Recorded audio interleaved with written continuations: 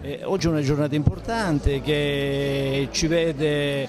eh, come flag partecipare a questo importantissimo evento di valorizzazione e di promozione della cipolla di Tropea,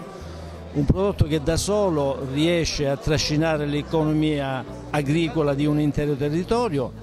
e su cui il sindaco stia puntando in maniera veramente forte perché